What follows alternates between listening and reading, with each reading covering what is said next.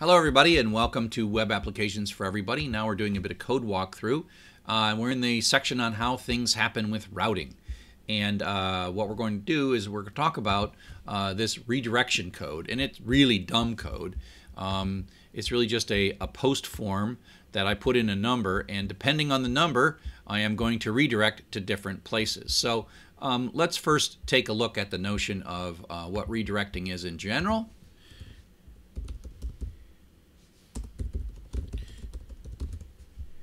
right? And so the location header is basically one of the HTTP headers that you can uh, send. You send a get and it returns and says 302 found and then it says location colon where you're supposed to go. And so just as an example, if you go to www.doctor, my normal URL is dr-chuck.com, but I also have drchuck.com with no dash. I got it much later. So what I do is I just automatically redirect it using that a redirect to my dr-chuck.com. So you notice the URL changed here. So I switched it from one to the other using this location header. So you went to the Dr. Chuck with no dash, and then you were told to go to Dr. Chuck with a dash, and that's a redirect. And that whole notion is there. And so we have ways in PHP to set these response headers. Um, using the header function. So echo or print sends data to the, the body of the response, and header sends data to the header, the part that comes out first. Um, and so let me do a view developer console so we can watch the uh, network go by. Network. So here we go. Um, so let's take a look at redir1.php. So I'm doing a session. Uh, I'm not really using the session in this particular one. I'll use it in the next one, so I probably could get rid of that. Okay. It won't have session next time you download that source code because it does not need a session. It really doesn't. There's no session in it.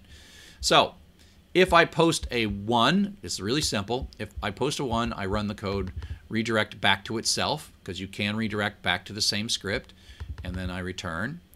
Or if I post 2, I redirect to a location, and in this case I add a get parameter to it, which is redir2.php, which is really just a copy of the exact same thing. So redir2.php is just so that I can sort of be at a different place. And then if I put a 3 in, it completely redirects to some other place, right? drchuck.com. Okay? So I'll put in a 1 here, and let's watch the network console. I hit submit. And so this was a post of the value 1 to this URL and what it gave me back is a 302 found which is not the same as a 200 200 means good news. 302 means like I know what's going on but you're at the wrong place. You need to go here. So what happens is immediately without us even seeing a blink of the eye the browser stops talking to this URL and switches to that URL and then sends a get request to that URL and so that's what we actually see now I'll refresh this so we only have one thing in there. And if I say 2, you will see that I do a post back to redir 1 because that's where the post goes. But then redir 1 is going to say, oh, go somewhere else. And the place I want you to go is redir2.php parm equals 123. So then it goes and instantly grabs this zip.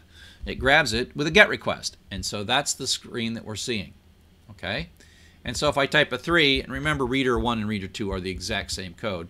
If I type a 3, it is going to go to location www.drchuck.com. So let's put a 3 in, clear the network, put a 3 in, and watch what happens. Boom. Now we're at drchuck.com. So there's all kind of crap that comes out, HTML and CSS and whatever. So let's just look at the first two requests. I scrolled all the way back up. The first one, I did a post to redir2.php with a value of 3, and it responded 302, go away, and it said, here's the place you're supposed to go. So it immediately, my browser immediately saw this and then did a GET request to drchuck.com. It, of course, retrieved all that HTML, and then it said, oh, I got to bring a picture, and yada, yada, yada, yada. And so that's all these other 71 requests are the rest of that. The redirect is what happened here from this post, from this post with this redirect to this get. Okay?